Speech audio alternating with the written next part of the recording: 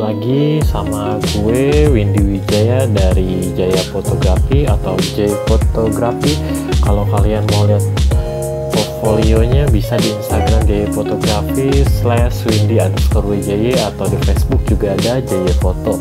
Oke, di sini gue mau sharing-sharing nih buat kalian ya yang mungkin baru belajar atau baru terjun ke dunia fotografi, baru punya kamera, DSLR, mirrorless atau apa pun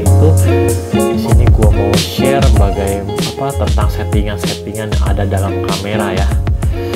Jadi di sini kita akan belajar tentang satu persatu nih ya. Mungkin kalau untuk kalian nih yang baru-baru nih, kalian mungkin bingung nih di sini banyak angka-angka atau tulisan ya kalian nggak paham ini apa. Nanti kita akan ulas satu persatu tentang apa dan kegunaannya untuk apa.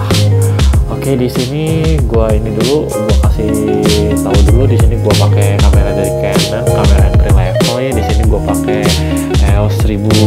1300D dan kamera dan lensanya lensa fix STM f1.8 dari Canon.